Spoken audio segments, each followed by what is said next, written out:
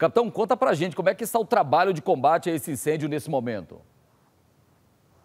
Olá, hoje nós estamos com três frentes ativas.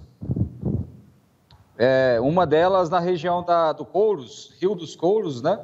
Que é a área limítrofe ali ao Parque Estadual da Chapada, perdão, do Parque Estadual de Alto Paraíso.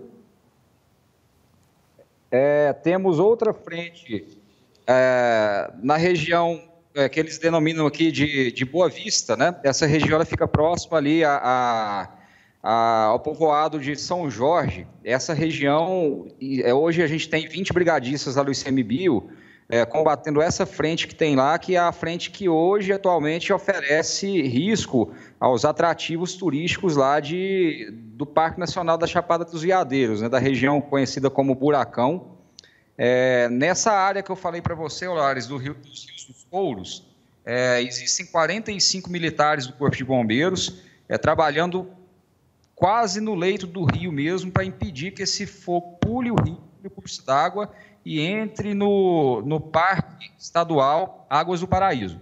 E outra frente está ao norte, aqui da APA Pouso Alto, onde 32 brigadistas do Breve Fogo é, tentam controlar o incêndio ali na região de Terezinha de Goiás.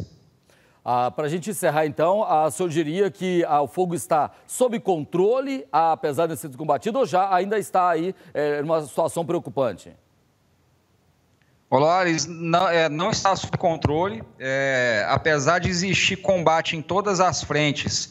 É, há dificuldade no, no, controle pelo relevo, pelo vento e pela temperatura, é, mas estamos confiantes de, no dia de hoje, é, ter bastante progresso e poder passar informações é, desse êxito para vocês durante o período vespertino.